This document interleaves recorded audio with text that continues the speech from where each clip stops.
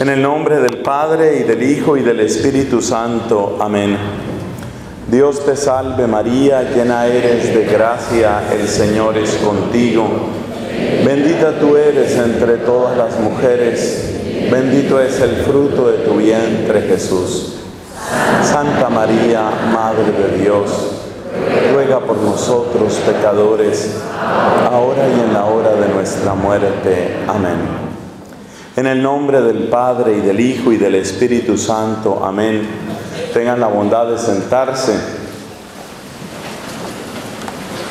Vamos a empezar hablando sobre el amor. Vamos a hablar sobre el amor de los padres hacia los hijos. Y vamos a hacernos una pregunta. ¿Qué es lo más importante que un papá o que una mamá le puede dar, le puede dejar a su hijo. El amor tiene la característica de que nos lleva a desear el bien en las personas que amamos. Y por eso un papá que está lleno de amor por sus hijos solamente les desea cosas buenas.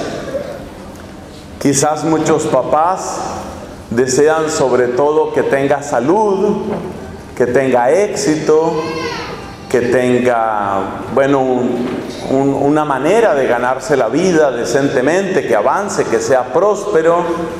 Quizás incluso cabe lo que dice el dicho popular, salud, dinero y amor. Puede decirse que esa sería la primera línea de respuesta para muchos papás y para muchas mamás. Pero cuando una pregunta es realmente profunda, si uno la vuelve a pensar, tal vez encuentra una respuesta mejor, una respuesta también más profunda. Por ejemplo, el tema del dinero, sí, es bueno que no pasen necesidades, pero también las familias se dividen por el dinero. Ya en los años que yo tengo, que el padre Jorge recordó, voy a cumplir 51, lo que él no dice es que él va a cumplir 50. Entonces, así es fácil, ¿no? hablar de la edad de otro es fácil. Decir que entre él y yo un siglo, ¿no? En la edad que tengo uno se ha dado cuenta de que el dinero ayuda y también divide. El dinero dignifica, pero también envilece. Entonces ya la respuesta de que dinero tal vez ya no es tan convincente porque Ustedes seguramente han conocido, lo mismo que yo, familias que se han destruido por una herencia, hermanos que supuestamente se querían, que comieron del mismo plato, que jugaron en la misma cancha, cuando llega el momento de discutir, porque hay mucho dinero en juego, se dividen y viene un comportamiento que ya no es ni siquiera de familia, sino de verdaderos adversarios. Luego dice uno, bueno, amor. Sí, claro, uno quiere, pues un papá quiere que el hijo tenga buenas amistades y como la gran mayoría de las personas finalmente organizan su vida en un matrimonio, pues se quiere que a ese hijo le llegue una buena mujer o a que a esa hija la pretenda, la ame un buen hombre. Eso es verdad. Pero también, también es un poco extraño porque resulta que encontrar esa pareja precisa es algo que muchas veces nos rebasa. Y a veces no es la persona ni la más inteligente, ni la más bonita, ni la más exitosa la que podría ser la mejor pareja de ese hijo. Así que es una respuesta un poco ambigua. Si uno excava un poco más y uno profundiza un poco más, tal vez llega a otras palabras. Otras palabras sobre qué es lo que un buen papá quiere dejarle al hijo que tanto ama. Una buena mamá. Y la pregunta se hace un poquito más dramática si uno piensa, por ejemplo, en qué es lo que yo quisiera que mi hijo tuviera cuando yo me haya ido. Porque todos nos vamos a ir. Y la ley general de la vida es que se van primero las generaciones que llegaron primero. Entonces es bueno que te preguntes como papá o incluso como educador, es bueno que te preguntes, ¿qué quisiera dejarle yo a ese hijo cuando yo cuando yo me vaya, cuando yo me haya ido, qué quiero que le quede como herencia a mi hijo? Y entonces se llega a otras respuestas. Por ejemplo, una respuesta muy bonita, una respuesta muy profunda es, yo quisiera que mi hija o mi hijo, yo quisiera que tuviera sabiduría, no solamente conocimientos, porque una cosa es tener muchos conocimientos y otra cosa es tener sabiduría. Un computador tiene muchísimo, muchísimo conocimiento, por lo menos muchísima información. Pero la sabiduría, según nos enseña Santo Tomás de Aquino, es más que una montaña de conocimiento. Es la capacidad de jerarquizar el conocimiento. La sabiduría tiene que ver con la jerarquización del conocimiento. ¿Qué va primero? ¿Qué va después? El poder encontrar causas y resultados, el poder tener propósitos y fines y sobre todo el poder valorar qué es lo más importante, qué es lo menos importante. Poder hacer estas valoraciones requiere de sabiduría. En la Biblia la sabiduría nunca es un sinónimo simplemente de acumular o amontonar conocimiento. En la Biblia la sabiduría está relacionada con otras dos cosas, con la capacidad de saber vivir y con la capacidad de encontrarle el sabor a la vida. De hecho, el sapere, sapere en latín tiene que ver con el saborear. Entonces, yo creo que un papá que ha reflexionado más en la pregunta que hoy tenemos, dice, yo quiero que mi hijo tenga sabiduría, es decir, que sepa vivir y también que le encuentre sabor a la vida, que le encuentre sabor, lo cual significa muchas cosas, por ejemplo, que sea capaz de estar en paz consigo mismo y con los demás, que sea útil a la sociedad, que, que, pueda avanzar, que no se deje vender fácilmente, que no se venda por un plato de lentejas. En una sociedad en la que parece que todos están corruptos o son sujetos a corrupción, un buen papá dice, yo no quiero que mi hijo sea uno más en el número de los corruptos. Yo creo que ustedes y yo nos hemos decepcionado muchas veces de los que deberían ser nuestros líderes en la vida política, en la vida militar, en la vida artística, en la vida científica o académica. También dentro de la iglesia hemos tenido grandes decepciones. Entonces, buscar o la sabiduría o desear la sabiduría es algo que que un buen papá quiere que mi hijo pueda jerarquizar, que pueda tener claridad en sus principios y que también le encuentre sabor a la vida. Recuerda, sabiduría quiere decir saber vivir y encontrarle el sabor a la vida. Eso es verdadera sabiduría. Entonces, un buen papá quiere sabiduría para su hijo, indudablemente que eso lo quiere. En esta misma línea hay otra palabra que también aparece y es la palabra fortaleza. La fortaleza. También la fortaleza tiene como dos aspectos según la enseñanza que nos da Santo Tomás de Aquino. Los dos aspectos de la fortaleza son la capacidad de emprender lo que es arduo y la capacidad de soportar lo que es difícil. Tú no quieres que tu hija esté hecha de merengue, que al primer problema se derrumbe y, empiece simplemente a acusarse y se hunda en depresión. Tú no quieres eso para tu hija, seguro que no. Tú no quieres que tu hijo sea una persona que se rinda ante la primera dificultad. Tú quieres que tenga fortaleza.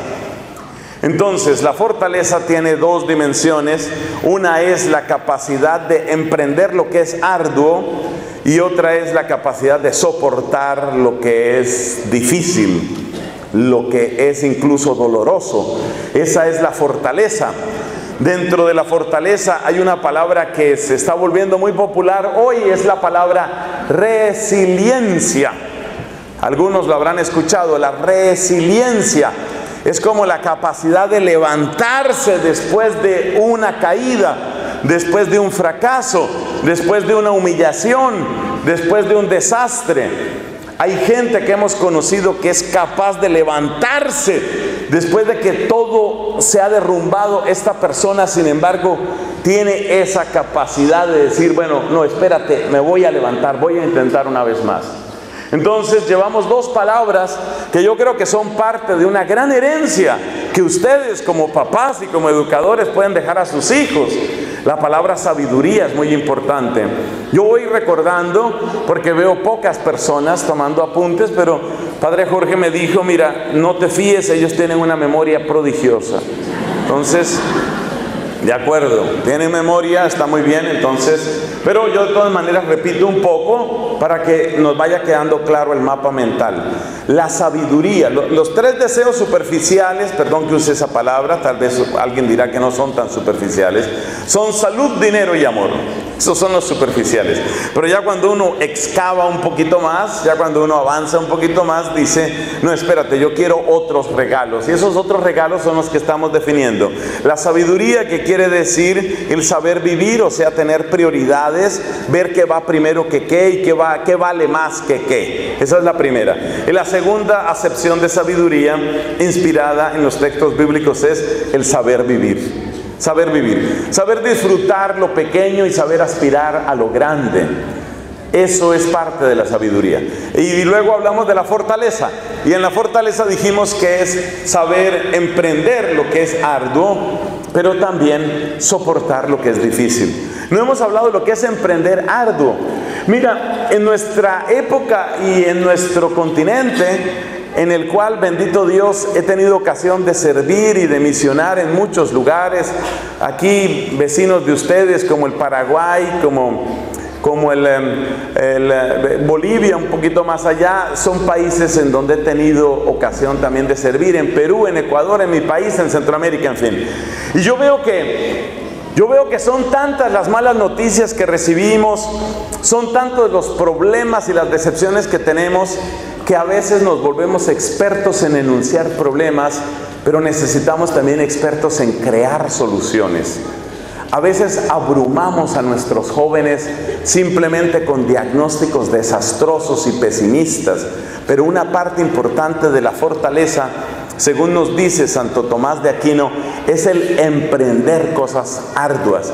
¿Dónde están aquellos emprendedores? ¿Dónde están aquellos que digan, yo quiero abrir un camino? Es decir, yo no quiero maldecir la noche, yo quiero acelerar el día, yo quiero apresurar el día. Esa gente la necesitamos. Necesitamos más gente que apresure la llegada de la luz, y, tal vez un poquito menos de gente que simplemente se queje o maldiga las tinieblas. Necesitamos emprendedores, necesitamos gente que abra camino en todos los aspectos, en lo literario, en lo académico, en lo religioso, en el plano de nuestra fe. Necesitamos también nuevos modelos de santidad. Alguien decía, eh, un compañero mío en el convento decía, los santos antes los representaban, por ejemplo, con una pluma, ¿no? Escribiendo su tratado, su suma teológica. Quizás las fotos o las imágenes de los santos del siglo XXI serán el santo hablando por el celular, ¿no? Necesitamos también santos que, que sepan del celular, que sepan de Twitter, que sepan de medios de comunicación. Entonces llevamos dos aspectos, sabiduría y fortaleza. La fortaleza significa capacidad de emprender lo que es arduo, quizás entrar en tierras desconocidas, quizás intentar lo que nadie ha intentado. Yo a este respecto, desde una misión muy bonita que tuve en, el centro de México, en San Luis Potosí, yo vengo insistiendo en un tema. ¿Quién va a decir la primera misa en Marte? Estoy hablando en serio. Según las cuentas según las cuentas, en los próximos 20 años, agrega más, 30, seamos generosos, 40 años, pero en 40 años es posible que muchos de nosotros todavía estemos por aquí. Es decir, es posible que nosotros veamos con nuestros ojos la primera colonia humana en Marte. Eso es perfectamente posible. Se sabe que lo más posible es que esa primera colonia humana que se haga en Marte no va a tener posibilidad de regresar porque la tecnología para ir allá es una, pero la tecnología para ir y volver es otra. Entonces seguramente los que vayan no van a poder regresar tan fácilmente. Bueno, entonces esa es la pregunta. ¿Habrá católicos en ese viaje cuando empiecen a el proceso de lo que llaman los, los científicos la terraformación de Marte? La terraformación es el adaptar un planeta para que la vida humana sea posible. Y el gran candidato es Marte. Les tengo una noticia por si acaso alguno se anima a ir a Marte. O quizás quiere enviar a alguien. Quizás usted quiere enviar a alguien de su familia a Marte. Porque a veces la gente no se anima, pero dice, pero yo sí le tengo una candidata. La candidata es, por ejemplo, la mamá del esposo, por decir algo. Le tengo que, que vaya, que vaya a Marte, que, que nosotros desde aquí la apoyamos. Que se vaya, que se vaya a Marte. Bueno, la buena noticia es que en Marte todos pesaremos menos.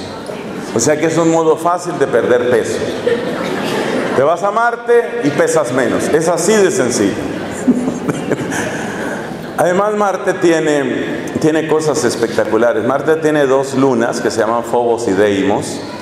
La más pequeña de ellas, que me parece que se llama Deimos, está sobrevolando el planeta a una distancia tan próxima que cada noche pasa dos o tres veces en la noche del día de Marte, del día marciano. Tú puedes ver pasar la luna, pasa dos veces por noche entonces los astrónomos han estudiado que esa luna se va, va a colisionar con el planeta, pero eso se demora todavía unos años. O sea que eso no te desanime para ir a Marte. No vayas a pensar, bueno, y si yo voy y con esta suerte que me mando, ¿qué tal? Donde yo tenga mi casa marciana y llegue la luna. bueno, ¿por qué la historia de Marte? La historia de Marte es, alguien tendrá que decir la primera misa en Marte. Alguien tendrá que hacerlo. Y le voy a contar una cosa. La ciudad de Santa Fe de Bogotá fue fundada el 6 de agosto de 1538. Y cuando llegaron esos que eran los, los exploradores de esa época, siglo XVI, ninguno de ellos tenía certeza de poder devolverse a su país, que en ese caso era España. O sea, date cuenta que la actitud de corazón de esos era muy parecida a lo que se requiere para dar el salto, a otro planeta en nuestra época. Y el día en el que se fundó la ciudad de Bogotá, no conozco lo suficiente la historia argentina, me, me, disculpo, pero el día que se fundó Santa Fe de Bogotá, 6 de agosto de 1538, se fundó con una Eucaristía. Había un sacerdote, por cierto, un sacerdote de mi comunidad, Fray Domingo de las Casas, celebró misa el día que se estaba fundando la ciudad de Bogotá. Bueno, esta historia, ¿por qué la cuento? Porque yo pienso que nuestros niños, nuestros jóvenes, por ejemplo, aquí miro este jovencito que tengo aquí, yo digo, bueno, y allí hay otro niño, y allí veo también otro. Bueno, ¿y por qué no puede ser uno de estos niños? ¿Por qué no puede ser uno de estos jóvenes el que diga, oye, allí también se necesita evangelizar, yo voy también para allá? Eso también es posible. Eso es lo que se llama fortaleza, la capacidad de emprender lo que es arduo, emprender lo que es arduo. Entonces llevamos dos cosas, dos verdaderos tesoros que los papás les pueden dar a sus hijos. Primero, sabiduría, que significa saber vivir y encontrarle el sabor a la vida. Segundo, fortaleza, que significa capacidad de emprender lo que es arduo, quizás lo que nadie ha intentado, y capacidad de soportar lo que es difícil, que también quiere decir levantarse después de los fracasos. La tercera cosa, que es menos obvia, pero no menos necesaria, se necesita memoria. Memoria, arraigo. Eso es muy importante. Los dolores más grandes que yo he visto en las personas mayores son porque sus hijos los han olvidado. Sus hijos los han olvidado. Un papá, como decimos, se parte la espalda trabajando por darle la mejor educación a su hijo. Ese hijo, por supuesto, también se esfuerza, quizás logra sacar un máster, un doctorado, hace grandes estudios, grandes especializaciones en otros países. Empieza a hacer muchísimo dinero y ya no se acuerda ni del pueblo del que salió, ni de la familia, de donde viene. Esa falta de memoria nos hace mucho daño. La falta de memoria nos hace mucho daño porque porque si nuestra gente, si nuestros líderes sociales, por ejemplo nuestros políticos, tuvieran viva memoria de dónde vienen, de qué lugares, muchas veces rangos humildes de la sociedad. Si el político nunca olvidara los rostros de los que le hicieron posible su ascenso, tendría una mayor capacidad de servicio. Entonces, en el plano familiar, en el plano social necesitamos eso. El sacerdote necesita memoria. Porque la mayor parte de nosotros los sacerdotes tenemos una historia de amor con Cristo. Es Cristo el que nos ha fascinado. Uno no entra al sacerdocio si no es por un acto de amor, por una especie de enamoramiento. Y en muchos de nosotros, en este caso hablo por mí, pero sé que la historia de muchos, en muchos de nosotros hay una historia hermosa de amor, una historia bella, porque el Señor nos ha cautivado, porque en un retiro espiritual yo me vi inundado en llanto porque, porque Cristo me ama, porque Cristo es verdad, porque no es una fábula.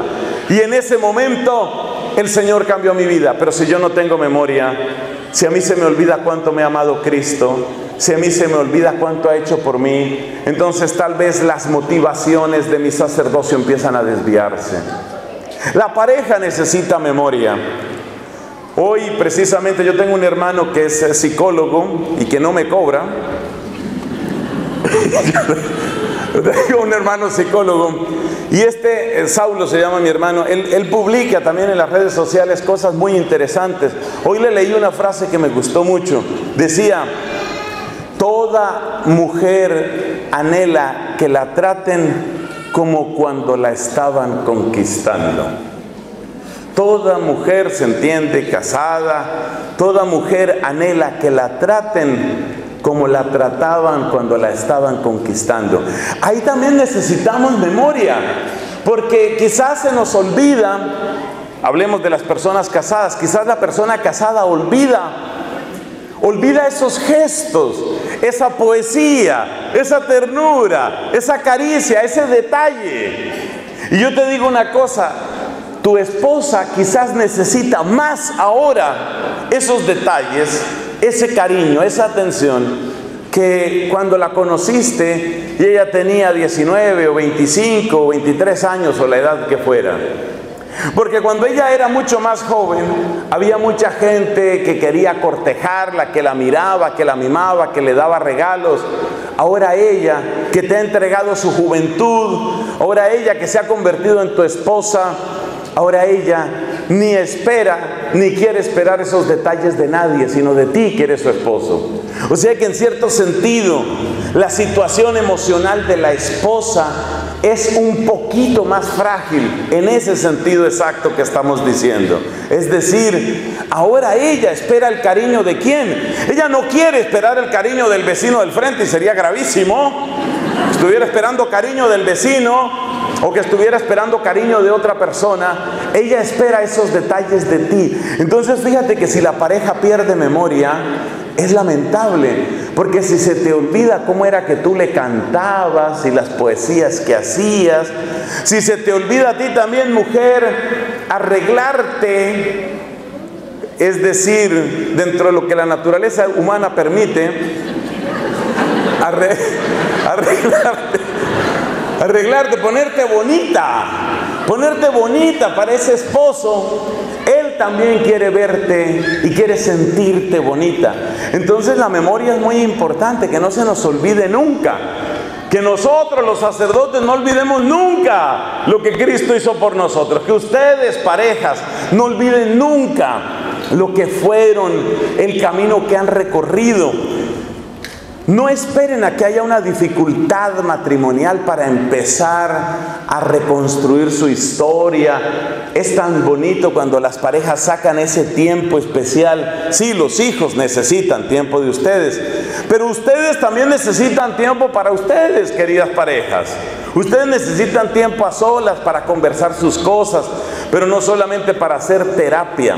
no solamente para arreglar problemas, necesitan tiempo para que esa mujer sienta, soy el gran regalo que Dios le ha dado a este hombre y que ese hombre sienta lo mismo.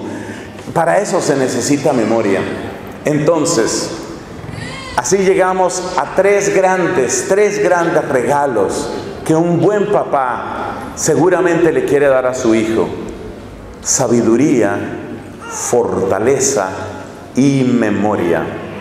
Que no se le olvide a ese hijo de dónde salió. Por ejemplo, una manera de dañar la memoria es hacerle la vida demasiado fácil.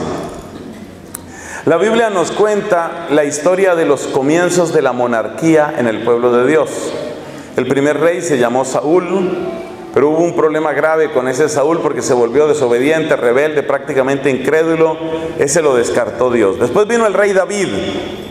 El rey David amó profundamente a Betsabé y entonces tuvo un hijo con ella, ese hijo se llamó Salomón. Y el rey que vino después de David fue Salomón. Y David educó lo mejor que pudo a Salomón y Salomón llegó a ser un hombre muy sabio, muy, muy sabio y muy poderoso en la escala de ese tiempo. Pero Salomón, aunque acertó en muchas cosas, hubo algo en lo que falló gravemente, yo creo que nos deja una gran lección. Salomón educó a su hijo al heredero que se llamó Roboam, lo educó como un niñito mimado. Un niñito mimado, de esos que abren la boca y ya están todos los sirvientes de palacio. ¿Qué quiere su majestad real? Y Roboam se volvió, de niño mimado, se volvió un niño caprichoso, egoísta, agresivo, incapaz de sufrir la menor contradicción y la cosa fue tan grave que en el tiempo de Roboam se dividió. Se dividió el reino, de manera que tú miras que el reino venía Saúl, David, Salomón, pero ya cuando llegamos a Roboam ya se dividió el reino. Porque Roboam era, era un playboy, era un hijo de papi, era un niño mimado, era un caprichoso egoísta.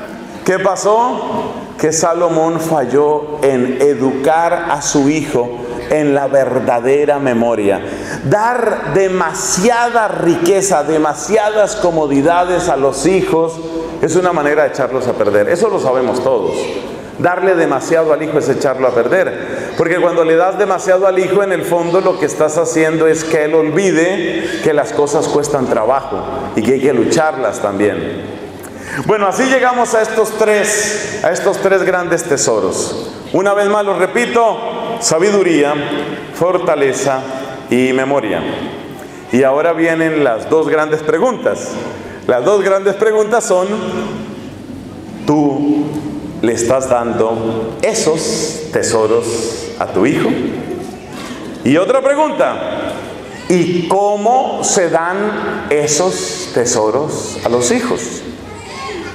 Porque a veces estamos tan ocupados dando otras cosas, que sin duda son también importantes, pero estamos tan ocupados dando otras cosas a los hijos, que se nos puede olvidar lo importante porque estamos dando lo que en cada caso parece más urgente. Por ejemplo, cuando el niño llega a cierta edad, pues se entiende que tiene que entrar al colegio. Cuando llega a otra edad, pues tiene que entrar, qué sé yo, al politécnico, a la universidad, lo que sea. Entonces a veces los papás viven al ritmo de lo que ahora toca, más o menos como sucede con las vacunas. Ya está en la edad de que tiene que recibir tal vacuna. Y ahora espérate que no se me pase la otra vacuna. Y a veces los papás viven al ritmo simplemente de lo que toca. Y yo te hago una pregunta. ¿Tú te has preocupado, conscientemente te has preocupado de darle a tu hijo esos dones es decir, así como a veces te interesa, esto se parece a lo que comentábamos en la homilía para quienes estuvieron en la Santa Misa, así como muchos papás se preocupan, bueno, yo quiero que mi hijo, pues mi hijo tiene que tener una buena preparación, tiene que manejar muy bien toda esta cuestión de computadores y todas estas cosas, y tiene que saber dos idiomas y tiene que eh, estudiar en la mejor universidad y lo voy a mandar a la capital. Así como te preocupas de esas cosas, yo te pregunto, ¿tú también te preocupas algún día, alguna noche, que tal vez te quedaste desvelado en la madrugada, tú te preocupas, ¿yo qué estoy haciendo para que mi hijo crezca en sabiduría? Estas palabras yo no me las inventé. Estas palabras yo las tomo de la Sagrada Escritura. Así, por ejemplo, el Evangelio según San Lucas, en el capítulo segundo, nos dice que Cristo crecía en edad, en sabiduría y en gracia delante de Dios y de los hombres. O sea que yo entiendo que José y María, que fueron el camino providente de Dios Padre para que su Hijo eterno creciera en nuestra raza humana, se preocuparon de eso. Yo me pregunto, cuando tú, mamá, cuando tú te quedas así desvelada, que a veces le pasa a uno, se despierta en la madrugada sin saber por qué, y como que el sueño no vuelve, tú te haces esa pregunta. Cuando tú piensas en tu hija, que tiene 12 años, 13 años, tú piensas, ¿cómo hago yo para que esta chica preciosa, linda, porque, porque eso sí, en esa edad son lindas todas. Cuando tú piensas en esa hijita tuya, tú piensas, ¿cómo hago para que ella no se quede únicamente como en tanta vanidad que a veces se queda la gente? Veníamos comentando con algunos amigos hoy, veníamos comentando, por ejemplo, una cosa que está pasando en mi país y me, entristece muchísimo. Yo no conozco lo suficiente Argentina, por eso cuento cosas de mi país, ¿no? Resulta que las niñas llegan a los 15 años, que pues es una edad eh, casi universalmente reconocida como muy importante para la mujer, la fiesta de 15. Y resulta que muchas niñas en mi país ni siquiera les interesa que se haga fiesta de 15, ni un paseo, ni regalos, o mejor dicho, el único regalo que piden es una operación para aumentarse el busto. O sea, tú piensas en esa cabecita. Yo, yo no digo que ese sea pues el peor pecado, yo no voy aquí a rasgarme las vestiduras, que ya están un poco rasgadas, porque este hábito ya vi que tengo que cambiarlo. Yo, no tengo que rasgarme las vestiduras, sino yo te hago una pregunta. Esa chiquita que tiene 14 años y que ya tiene como principal preocupación, debo tener senos más grandes, ¿de verdad tú qué esperas de esa niña de aquí a unos años? Es decir, ¿cuál es la vida que le espera a ella? Entonces yo me hago esta pregunta, ¿será que los papás hoy sí, sí se plantean, pero en serio, en serio, el tema de yo necesito que mi hija tenga sabiduría? Porque hoy nuestros jóvenes reciben toneladas de propuestas, toneladas de propuestas. Yo he conocido el caso sumamente grave, sumamente triste, de papás que un día descubren Mire esta historia que, que, es de la vida real. Yo no quiero que ustedes se vuelvan paranoicos. Yo no quiero que ustedes se vuelvan obsesivos con el tema de sus de proteger a sus hijos, pero es que sí hay que protegerlos sin angustia, pero tampoco sin ingenuidad. Resulta que había una historia, esta es una historia real, es la amiga de una niña que asiste al grupo de oración de mi convento, o sea, yo podría decir el nombre de la persona implicada, por supuesto no lo voy a decir. Es una de las amigas de una chica que asiste al grupo de oración de mi convento, allá en Colombia, en Bogotá. Esta chica, la amiga de, la niña del grupo, esta chica resulta que supuestamente iba a estudiar, a trabajar, a no sé qué, donde una amiguita suya. Supuestamente eso era lo que estaba haciendo. Y para los papás, pues esa es una escena, digamos, bastante normal, que tienen que hacer trabajos en grupo y bueno, toda niña pues tiene su grupo de amiguitas, entonces va donde la amiga. Pero lo que sucede es que esa otra amiga estaba metida en un negocio. ¿El negocio cuál es? El negocio es pornografía por videocámara a través de internet. De manera que una red espantosa de pederastas busca chiquitas, precisamente de esas edades, 13, 14, o sea, están buscando a tu hija, perdón que hable así, pero hay que decir las cosas están buscando a tu hija, si tiene esas edades, ¿Y, para qué las buscan? Pues les hacen un contrato realmente con una buena conexión de internet y una buena videocámara. Estas chicas pueden trabajar casi desde cualquier lugar. Y más o menos lo que hace la agencia eh, es crimen, por supuesto, y ya ha intervenido la Fiscalía ya en Colombia para detener esa red de pornografía infantil. Lo que hace la empresa esa asquerosa, lo que hace es contactar chicas, precisamente chiquitas de estas edades, y hace un contrato y vincula a esa niña con algún degenerado en alguna parte del mundo. En España, en Noruega, casi siempre son europeos, canadienses también. Y por cada hora de conexión entre ese degenerado, no puedo utilizar otra palabra, entre ese degenerado y esta niña, por cada hora de conexión, la empresa gana tanto dinero y la niña acumula tantos puntos y tanto dinero. Y al final de mes le pagan. Para que tú sepas la cantidad de dinero que puede hacerse una muchacha de esas, más el dinero que queda para la empresa, en cosa de uno o dos meses, una de esas muchachas puede ganar suficiente dinero para comprar el celular de más alta gama del mercado, que probablemente hoy sería como decir un iPhone 6 Plus, una cosa de esas. O sea, ese es el volumen de dinero que gana una niña de 12, 13, 14 años. Los papás no sabían nada de esto, los papás no tenían ni idea de esto. Entonces, yo digo, cuando una persona cuando, cuando una niña, cuando una muchacha no tiene sabiduría, el no tener ese tesoro se paga demasiado caro. Pero no vayamos a esos casos tan extremos, que los hay, los hay muchos, y uno como sacerdote, créanme que se entera de todo. No vayamos a esos casos tan extremos. Tú sabes que ese hijo tuyo, esa hija tuya, un día va a tener que tomar decisiones que le van a afectar profundamente. Por ejemplo, ¿qué oficio, qué carrera voy a estudiar?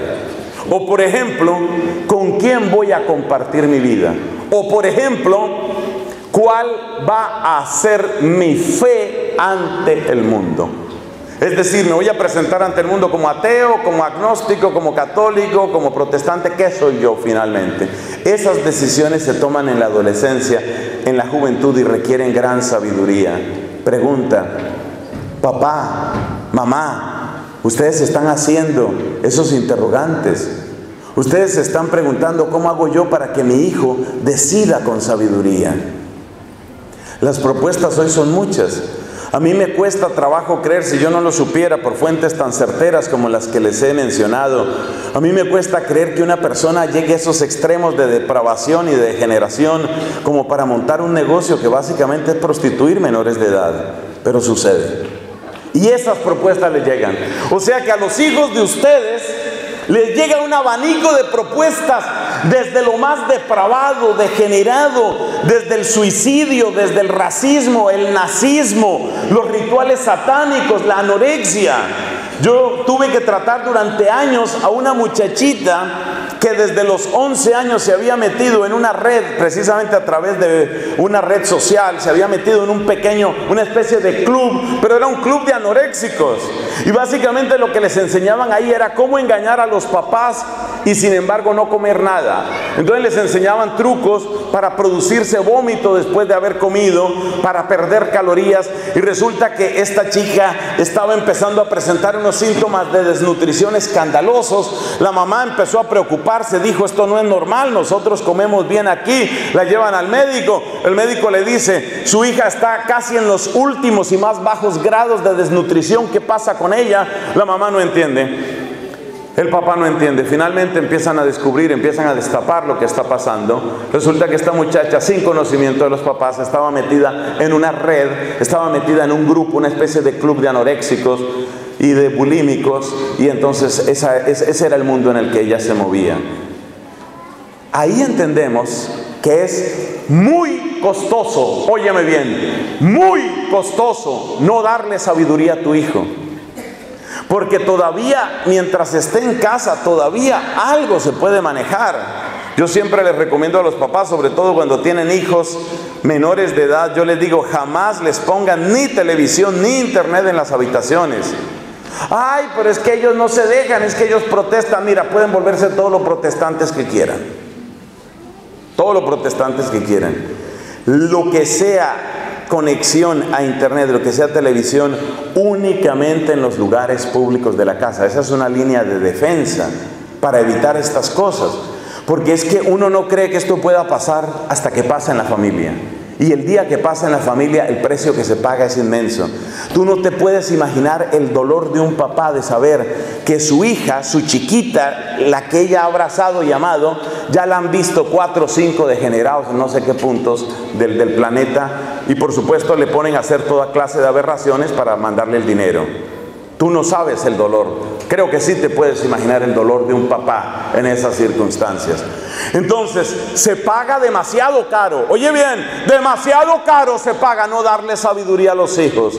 Se paga demasiado caro no darle fortaleza a los hijos. Demasiado caro, ¿por qué? Porque resulta que en la vida humana todos vamos a tener que experimentar reveses Hoy puede ser una cosa sencilla, relativamente pequeña, como que se murió el gatito que yo tanto quería. Pero después puede ser alguna cosa mucho más seria, una cosa mucho más difícil.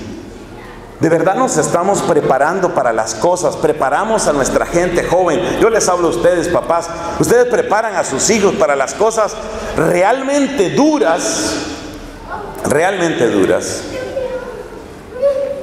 Yo vengo de una familia católica con grandes convicciones y sin embargo yo pienso que con todo el amor para mi papito y mi mamita hay muchas cosas para las que no estábamos preparados.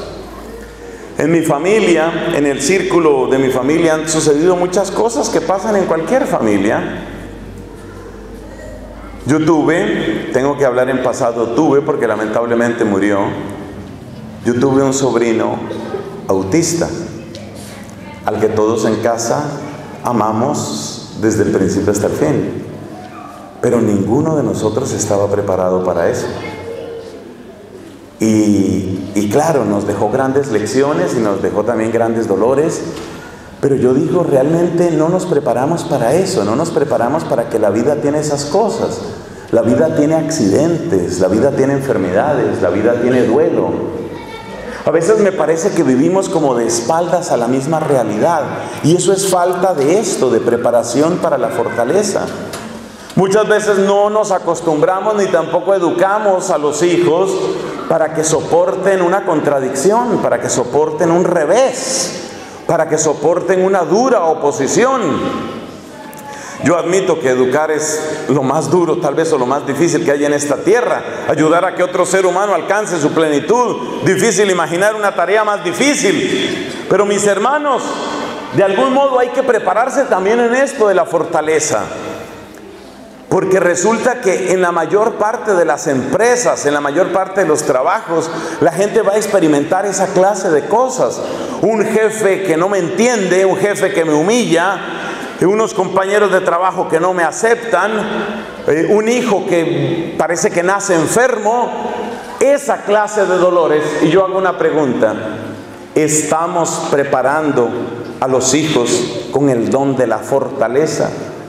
¿Qué estás haciendo tú en concreto para formar? ¿Sabes cómo se llamaba eso en el pasado? Formar el carácter. ¿Qué estás haciendo tú para formar el carácter de ese hijo, de esa hija? Una psicóloga amiga me decía que uno de los problemas de nuestro tiempo es que muchos papás le tienen miedo a los hijos. Tienen miedo a contradecir a los hijos. Tienen miedo a negarle algo a los hijos. Tienen miedo a ponerle límites a los hijos. Tienen miedo a prohibir algo a los hijos. Pero yo hago una pregunta, ¿se puede educar sin eso? ¿No será que nos hemos ido de un extremo a otro? Porque parece que en una época el único modelo educativo era la fuerza, el castigo, la imposición, la autoridad, incluso la violencia. Era lo único. En mi país se decía, la letra con sangre entra. Es decir, duro, duro y a la cabeza. Eso era, ese era el modelo educativo. Pero quizás nos hemos ido, por la ley del péndulo, nos hemos ido al otro extremo. Y la frase completa de mi amiga psicóloga era esta. Esta es la primera generación de papás que creció teniéndole miedo a sus papás y luego han aprendido a tenerle miedo a los hijos. O sea que algunos papás cuando eran niños le tenían miedo a los papás y ahora crecieron y le tienen miedo a los hijos. Supongo que le tendrán miedo también al sepulturero, no sé cómo será. Hermanos, ¿Cómo está ese tema? Ese tema de la fortaleza. ¿Qué estamos haciendo para educar el carácter de los hijos?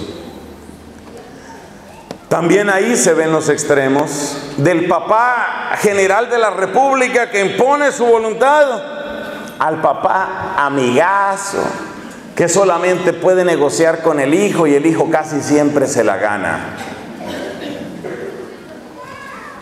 ¿Cómo se está formando el carácter de las nuevas generaciones? ¿De qué están hechos esos muchachos y esas muchachas? ¿Están listos para eso? ¿Tú crees que queda bien educado tu hijo con esa actitud de complacer y complacer y complacer y de no contradecir y de simplemente reprimirte tú? ¿Tú crees que así queda realmente bien educado? Porque la sensación que yo tengo es que esa es la peor manera de preparar a un hijo para la vida. Luego lo que va a encontrar no es eso.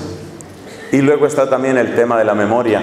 Así que la penúltima parte de esta charla es esa pregunta y yo quisiera que te quedaras un poco inquieto con eso.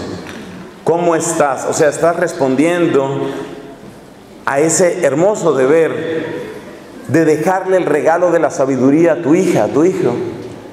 ¿Eso en qué se nota? En la manera como habla, en la manera como opina y en las decisiones que toma. Ahí se nota. Tú oye, oye a tu hijo, óyelo. ¿Qué decisiones toma? ¿Qué opiniones da? Y pregúntate, ¿hay sabiduría en mi hijo? ¿Hay sabiduría en mi hija? Luego la fortaleza.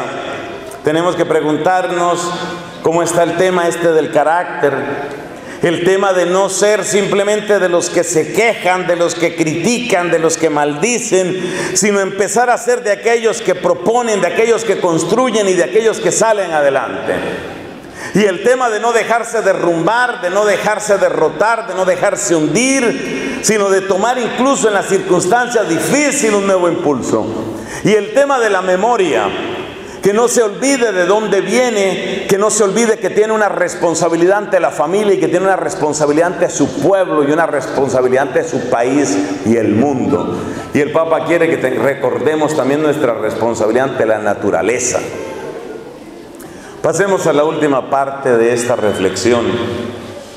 La última parte es, no es una respuesta completa porque no podemos desarrollarla en este momento, es solamente dos o tres pinceladas sobre cómo la semilla de la respuesta seguramente ya la tienes en tu fe. Es decir, bien entendida, la semilla de la fe, de nuestra fe cristiana y católica, es el comienzo de la respuesta para esta sabiduría para esta fortaleza y para esta memoria que son los tres grandes tesoros que tú podrás dejar a tus hijos. Y vamos a ver por qué. Empecemos con la sabiduría. Si la sabiduría consiste sobre todo en establecer prioridades y en ver qué cosa es causa de qué y qué cosa es consecuencia de qué, según la enseñanza de nuestro amigo Tomás de Aquino, si en eso consiste sobre todo la sabiduría y en el encontrarle sabor a la vida, fíjate cuánto ayuda una fe cristiana bien vivida ahí. Porque lo primero que pone la fe cristiana, incluso desde el catecismo, son precisamente prioridades. Esas prioridades aparecen en nuestra fe a través de reglas muy sencillas, las llamamos mandamientos. Cuando se habla, por ejemplo, de los diez mandamientos, cualquiera diría, oye, pero qué cosa tan anticuada, pero han traído a ese tipo por allá desde Colombia para que nos hable de los diez mandamientos. ¿Qué pasa? ¿Qué está sucediendo? ¿Sabes una cosa? Si tú examinas esos diez mandamientos, les puedes poner otro título, las diez prioridades.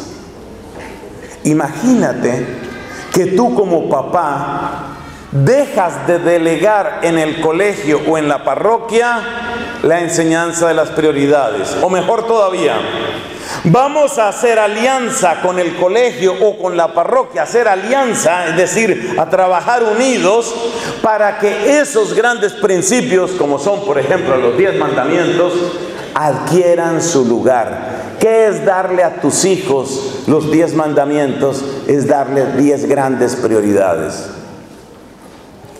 ¿Qué pasa cuando una persona asimila la enseñanza jugosa, sabrosa y nutritiva de los mandamientos? Esa persona tiene una semilla de sabiduría. Eso no le va a resolver todo en la vida.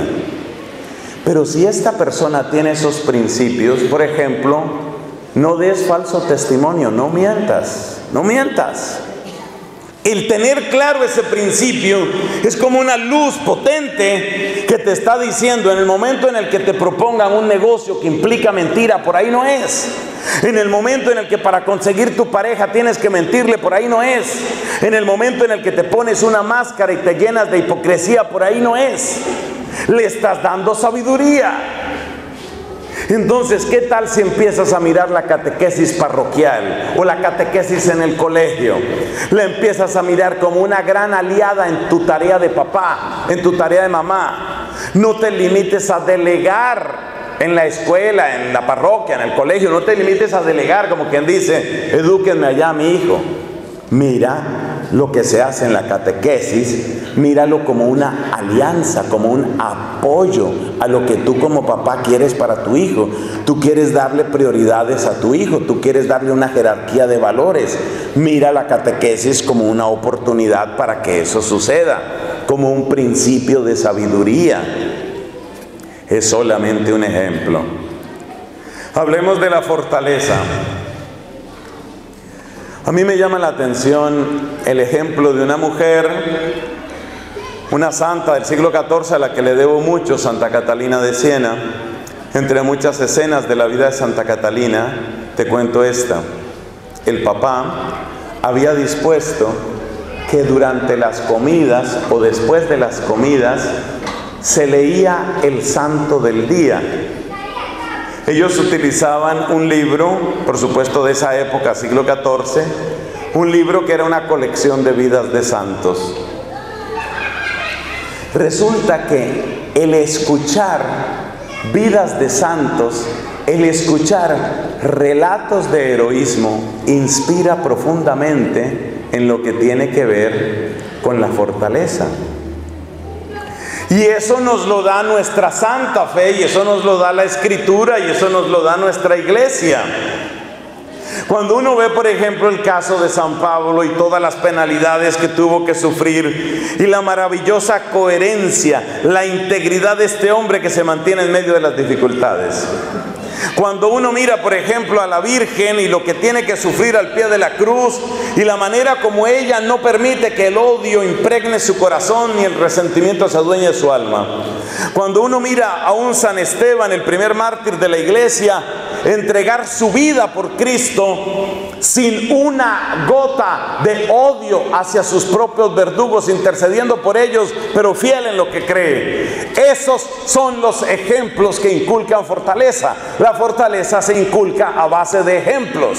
La sabiduría se empieza a inculcar, no es todo el camino, pero la sabiduría se empieza a inculcar a base de mandamientos y prioridades. O sea, tú como papá puedes hacer mucho. Papás, mamás, por favor miren, por favor verifiquen qué clase de lecturas, qué clase de películas, qué clase de programas están viendo sus hijos. Si ustedes añaden, si ustedes añaden al menú de esos hijos, y si ustedes cuidan más el menú de esos hijos, ustedes van a encontrar que pueden empezar a inculcar esta clase de tareas. No solamente en lo que tiene que ver con la religión, todo lo grande que se ha hecho en esta tierra se ha hecho con gran esfuerzo.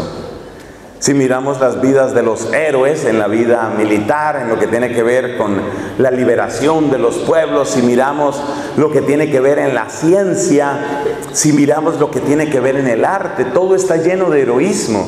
Los ejemplos de los héroes y de los santos son indispensables para fomentar la virtud de la fortaleza, porque hay algo que tiene el corazón humano algo que está muy profundo de nosotros, que se llama el deseo de emular, el deseo de acercarse a lo que es verdaderamente grande.